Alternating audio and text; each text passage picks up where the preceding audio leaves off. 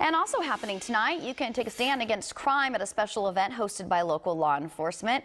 National Night Out will take place from 5 to 8 p.m. at City Park in Tehachapi with the Tehachapi Police Department, as well as here in Bakersfield from 6 to 9 p.m. at the local police department on Truxtun.